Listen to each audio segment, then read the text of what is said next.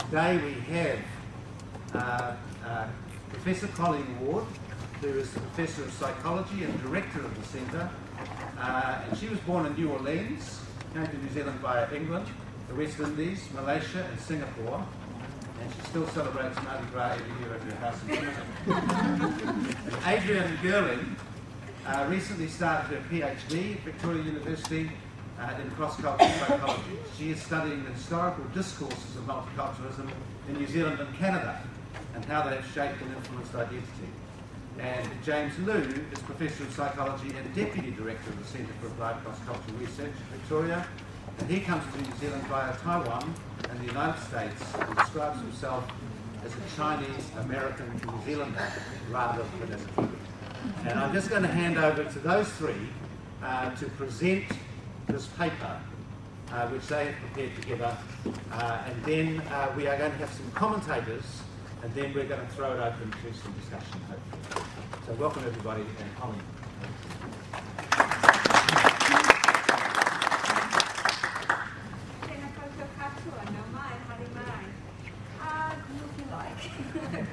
I, I don't like doing this because I'm always too short and nobody can see me behind the lectern.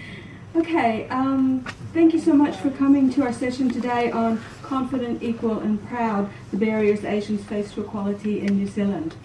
Uh, it's, it's up to me to basically present an overview. Jim, could you change the slide? Uh, present an overview of today's uh, presentation and then to sort of set the scene before Adrienne goes on to talk a bit more about the experiences of Asian Asians here in Aotearoa. So essentially what we'll be doing uh, this afternoon is we'll be looking at New Zealanders' attitudes towards immigration and cultural diversity uh, in general, and then move more specifically on to discuss Asians in this country, uh, our attitudes towards Asia and Asians, and then look specifically at the experiences of discrimination uh, by our Asian communities here in New Zealand.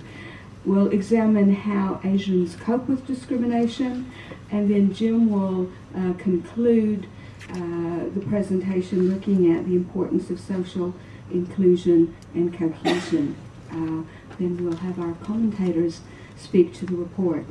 So if I start off with, uh, by way of background, to sort of set the scene, to talk about the results of our national survey on attitudes towards immigrants, immigration, and multiculturalism.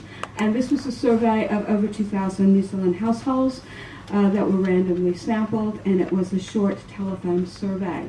Now, the good news is that New Zealanders do have a very strong multicultural ideology. These were some of the survey items, and as you can see, a strong majority agree that it's important to accept a wide variety of cultures in New Zealand. And Kiwis also have positive attitudes towards immigrants in general. They find that immigrants have qualities that they admire and they acknowledge the important contributions that immigrants have made to this country. Now, uh, a question that's really important is how do New Zealanders want the immigrants to adapt, the newcomers to adapt? Also bearing in mind now that immigrants in New Zealand are approximately one in four in this country, are overseas born. And we find that there's a very strong endorsement of what we would call integration, meaning that in principles, Kiwis strongly believe that immigrants should be able to maintain their original and traditional cultures while also adopting New Zealand cultures. So you see, we've got 82% agreement with that. Kiwis don't endorse assimilation. So if you look at the notion that um, immigrants should give up their original culture for the sake of adopting New Zealand culture, we have only 21% agreement with that. So these are very fine principles. And you may think, oh, well, we know this all along because that's what New Zealanders are like. But let me, let me say to you, this is not what it's like on the international scene. So for example, I can tell you in Germany, the most commonly endorsed strategy is assimilation very assimilationist. In the Netherlands, which is often looked at as being very progressive, they're pretty equally split between endorsing integration and assimilation. So we do have, I think, very progressive uh, um, attitudes here in New Zealand, and in principle, we do like to support diversity. Also, I would say that the sense of threat and competition uh, in general is very low.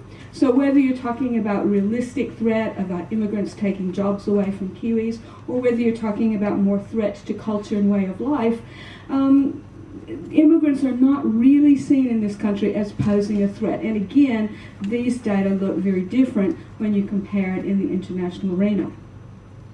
The final, uh, the sl next slide I'd like to show, I really, I love this slide because this was from our survey. We asked if, if it's a good thing for society to be made up of people from different races, religions, and cultures. 89% of New Zealanders agreed, and that was a significantly greater percentage than found in Australia and 15 European Union countries. So what are we seeing here? That New Zealanders' attitudes towards diversity and immigration are relatively positive, but and there's going to be the but. And the, the, there's two buts, in a sense, that I'd like to mention. The first is while we like immigrants in general, we like some immigrants more than others. And these are the favorability ratings of immigrants from various countries. And as you would see, those that are rated the most favorably, and this is on a 0 to 100 scale, come from Australia, then the United Kingdom, followed by South Africa. Read the white people, and then the Asian and the Pacific communities are seen, while uh, still moderately positive, so significantly less positive than those who originate from predominantly European countries. The second but, and this is really what leads into Adrienne's presentation, is that while we have, I think, very good principles, the difference comes, what about our practices? And that's what she's going to talk about.